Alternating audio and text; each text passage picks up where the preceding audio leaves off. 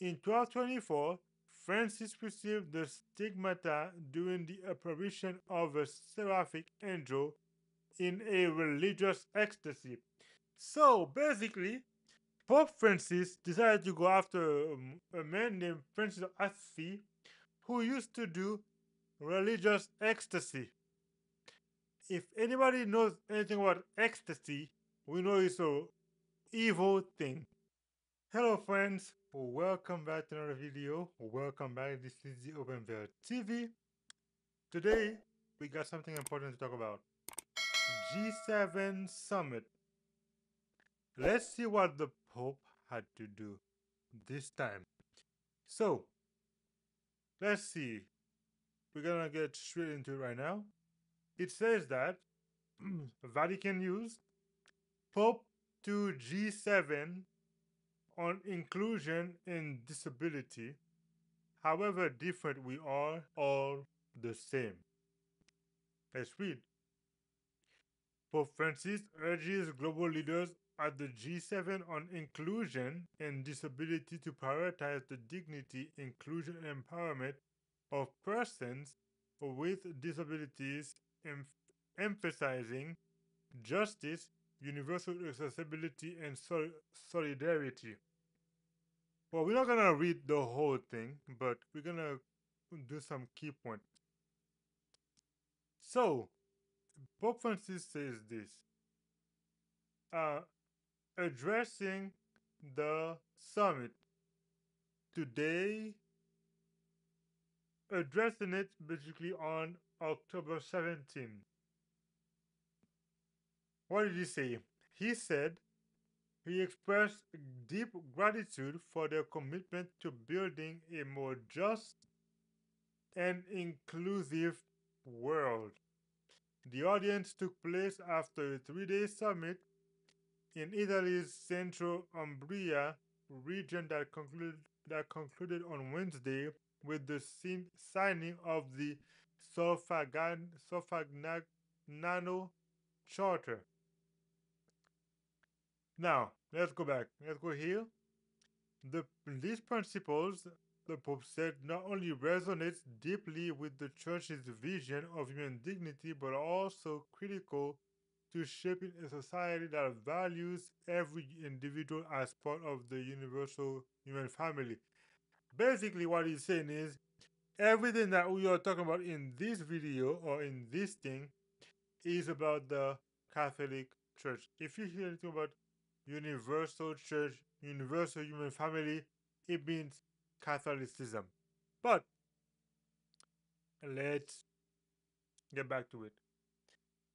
Um, it says, once talking about people with disabilities, someone said to me, "Be careful, because all of us are um, have some," which is true. We have disabilities, you know.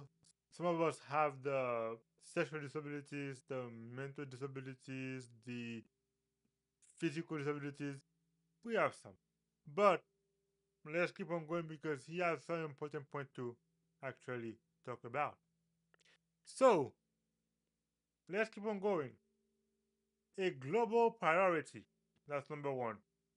Pope Francis urged the inter international community to prioritize the international community to prioritize the inclusion of people with disabilities, reminding them of all those present that their equal dignity must be universally acknowledged. Creating an inclusive world, he noted, requires not only adapting structures but also changing minds. So basically, his whole idea, his whole talking point is change the next the next generation's mind because they need to think like us. They have to think like Catholics you may not see it that way, but this is basically what the gist of it. It has to be a universal thinking, the same mindset.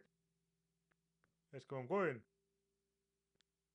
Basically, um, before calling for universal accessibility, ensuring that all physical, social, cultural, and religious barriers are removed so that individuals can develop their talent and contribute to the common good. regardless of the stage of life. If you know anything about the common good, it's basically what we call the Laudato Si, which enforces in his mind everyone should worship on the first day of the week, Sunday. They want to make the Sunday the national or universal day of worship, disregarding God's holy Sabbath. This is why everything he's talking about has to do with Catholicism, which is let everyone have the same mindset for the so called common good. If you know, you know. Number two, for justice. So he went on to stress that providing services and facilities for people with disabilities is not just an act of social assistance, but a matter of justice. Um, okay. All nations, he said, bear the responsibility to create inclusive communities that promote the integral development of every person. He, re- he reiterated the vital importance of offering opportunities for dignified employment and participation in cultural and sporting events, warning that excluding someone from these areas is a grave form of discrimination. I agree with that.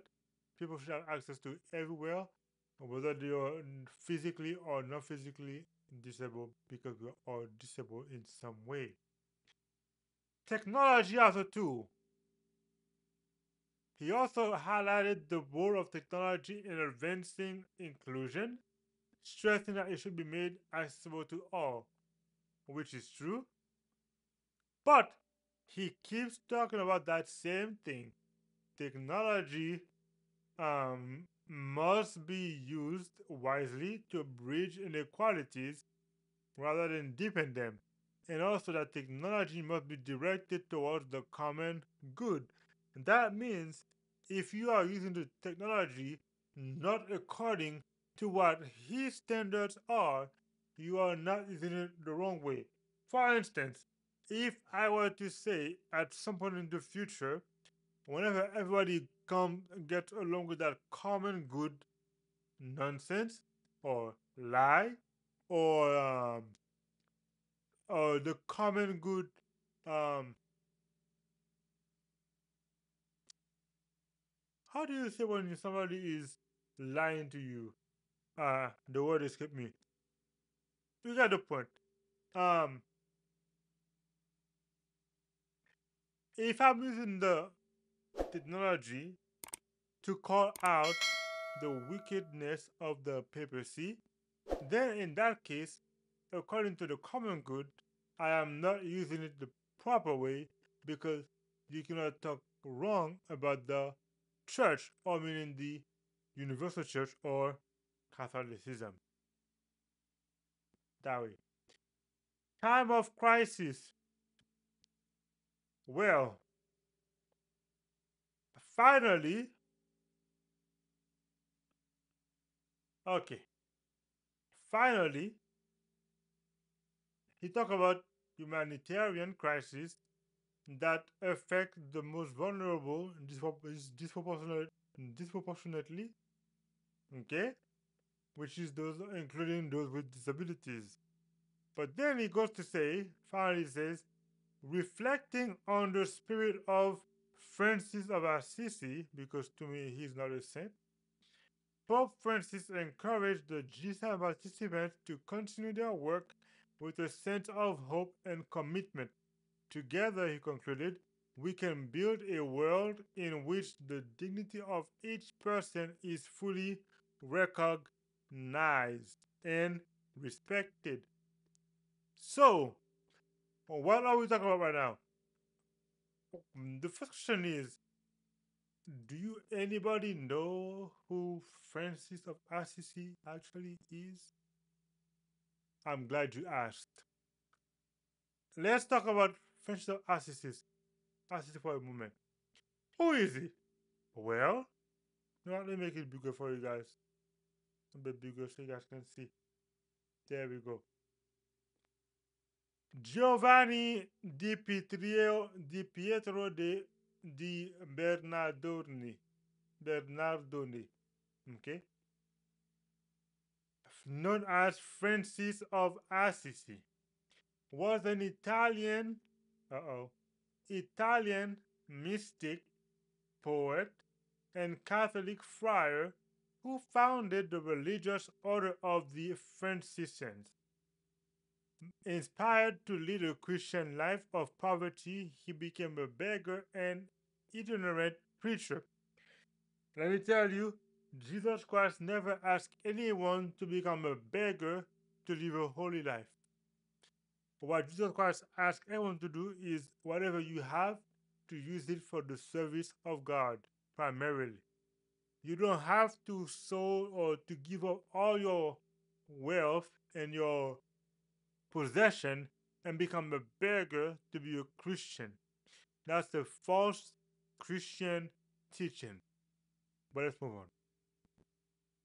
One of the most venerated figures in Christianity, no, that's in Catholicism, not in Christianity, because he's not rare, he's not venerated in many other denominations.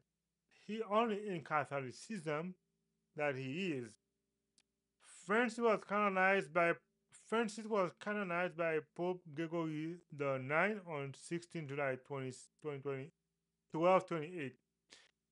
He is commonly portrayed wearing a brown habit with a rope tied around his waist, right?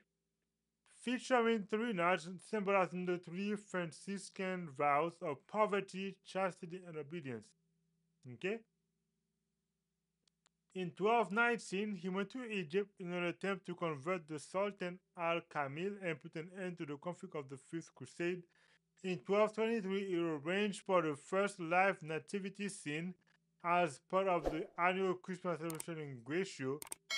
And today, so-called many Protestants, including Seventh-day Adventists, are following that same Catholic Catholicism ritual or pagan ritual with a little sprinkle of Jesus lyrics on it.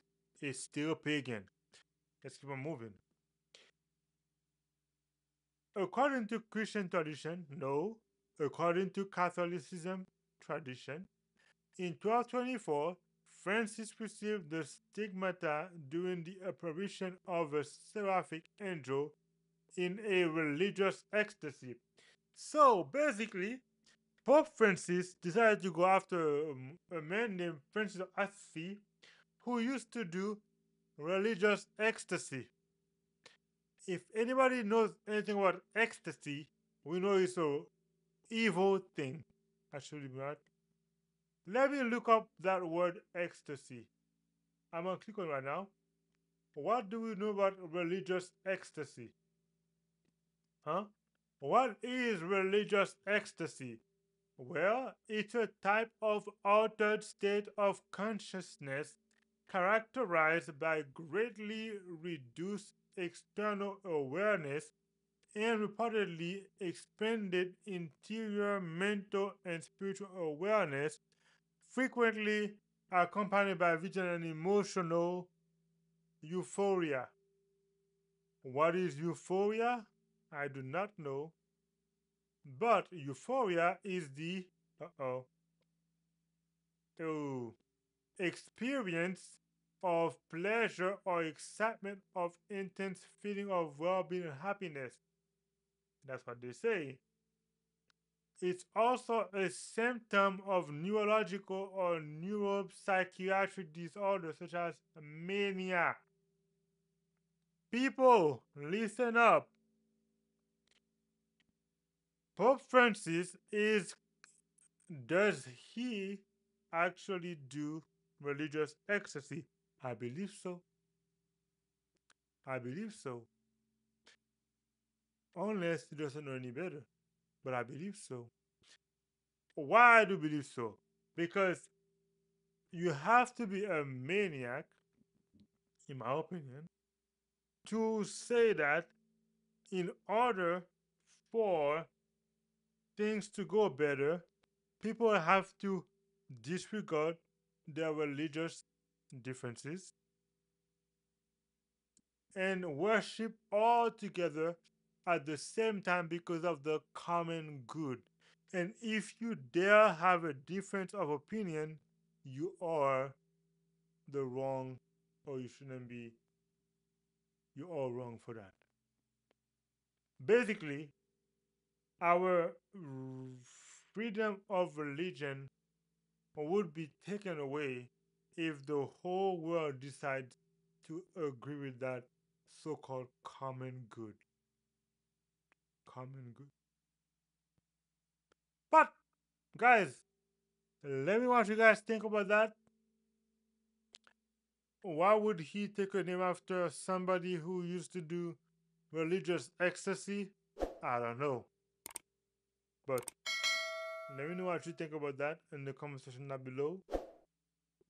I hope to see you guys again. This was the Open World TV. Until then, bye for now.